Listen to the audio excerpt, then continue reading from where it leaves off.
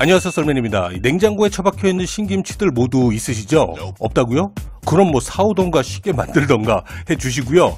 어제 우리 직원님들 또 가음하셨다고 하셔서 오늘은 요리사들의 간편해장국 이름하여 김콩과 김칼 영업 시작 전에 3분 만에 뚝딱 이 술 드신 직원님들 발로 뻥 아, 죄송합니다. 이 가슴을 뻥 뚫리게 만들어줄 그 시원하고 간단한 레시피 알려드리도록 하겠습니다. 일단 맛이 있던 없던 먹자마자 아이고 셔라 할 만한 이 신김치 4분의 1 포기를 준비해 주시고요.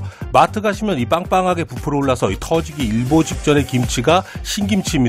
이 주인한테 말만 잘하면요 이 할인도 해줍니다.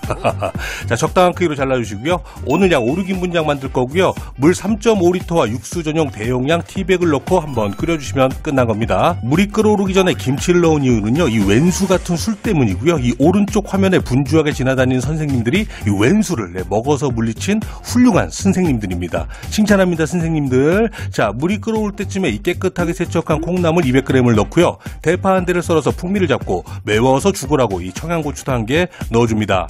이제까지는 장난이었고요. 지금부터 황금조미 비율을 알려드리겠습니다. 물 3.5리터에 국간장 5숟가락을 넣어주세요. 일반 밥수저로 계량했습니다. 자 다음은 멸치 다시팩의 육수향을 극대화시키기 위해서 멸치 액젓 5큰술, 간장과 함께 1대1 비율로 넣어주시면 되는데요. 까나리 액젓은 안 되나요? 없는데 어떻게 그거라도 넣어야죠. 요리는 응용이고 센스입니다. 그래서 센스 있는 팁 하나 알려드릴게요. 이 참치액들 집에 한 통씩들 있으시죠?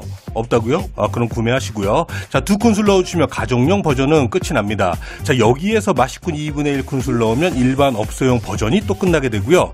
부족한 간과 이 칼칼함은 꽃소금과 매운 고춧가루 미분으로 조절하시면 됩니다. 자 마무리로 다진 마늘 한 큰술과 이 대파를 넣게 되면 마무리가 되는데요. 자 그런데 지금까지의 맛이 일반 가정용 업소용에서 그냥 오 맛있네 정도라면 이 면사랑용 멸치 밑국물 육수 약 두세 큰술 정도만 넣게 되면 이 멸치 한 두세 마리로 끓였던 이 국물 맛이요 한 가마니로 네, 끓인 맛으로 네, 바뀌게 됩니다. 못 믿겠다고요? 네, 믿어보세요. 정말 맛있어집니다. 자 이렇게 해서 김치 콩나물국이 완성이 됐는데요. 깨알 같은 팁 하나 알려드리면 이 국자를 이용해서 담지 마시고 집게를 이용해서 콩나물을 덜어낸 다음에 나머지 이 국물을 이렇게 붓게 되면요 훨씬 더 빠르고 간단하게 콩나물국을 네, 떠실 수가 있습니다. 네, 깨알 같은 또 썰팁이죠. 자 그런데 뭐가 좀 아쉽습니다.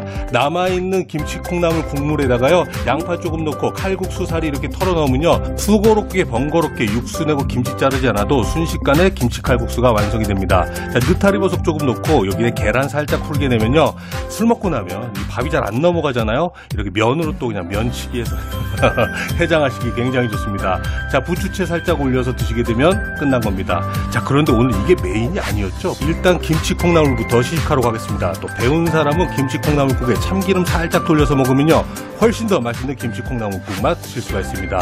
김가루 조금 넣으면 맛있다.